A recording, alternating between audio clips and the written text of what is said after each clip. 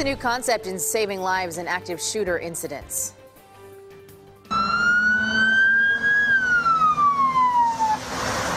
First responders arrived at the Las Vegas shooting scene, police were not the only ones wearing bulletproof vests and Kevlar helmets. Firefighters and paramedics were also wearing body armor. Uh, CBS 13 Steve Large continues our team coverage from the newsroom tonight with this new approach to save lives and the push to get Sacramento firefighters that gear too. Steve? It's called the Rescue Task Force. Firefighters teaming up with police to get inside these active shooting scenes. It can save lives, but it can also be expensive. We have an active shooter. We have an active shooter inside the warehouse. These heart pounding pictures and sounds were especially haunting for Sacramento Assistant Fire Chief Chad Augustine. The first thing that I thought, and just like any American or any human being, just devastating. And thought, how could any one person do that? But then the very next moment is, what if this happened in Sacramento?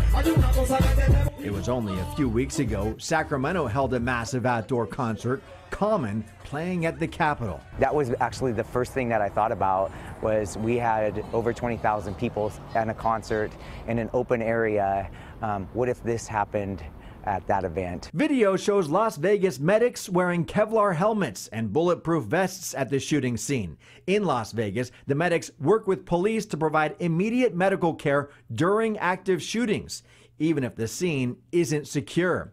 It's called a rescue task force model. So right now, Sacramento as a region doesn't have a rescue task force. Sacramento's fire department has trained with law enforcement to deal with active shooters, but right now there is no rescue task force model in place and no specialized equipment to protect medics called to the active shooter scenes. We have to evaluate how we would perform in that same environment. Augustine says the model requires regional police and fire agencies to have the same communication systems, and local governments would have to fund the equipment. We should be at the table today, tomorrow, um, coming up with the details of how we're going to get that program to be successful. As active shootings become more common, the business of saving lives is changing.